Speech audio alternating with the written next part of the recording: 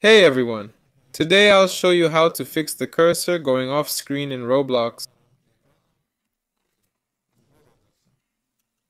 First check your Windows settings. Go to System, Display and use the recommended values. If not set correctly, the game might not fit your screen. Next, go to Settings and do this. We need to troubleshoot the Microsoft Store.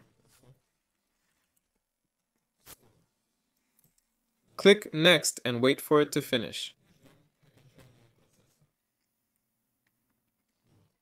This is crucial if you're using the Microsoft Store version.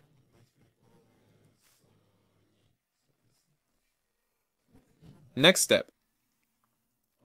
In the same settings, go to Apps. Search for Roblox. Find Roblox, uninstall it, then reinstall from the official site.